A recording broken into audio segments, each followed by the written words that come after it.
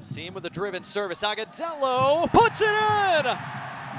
Juan Agudelo scores, and Birmingham Legion have an early lead. This is top class. Driven, bending service, and Juan Agudelo just beats everybody to it and puts it in the net.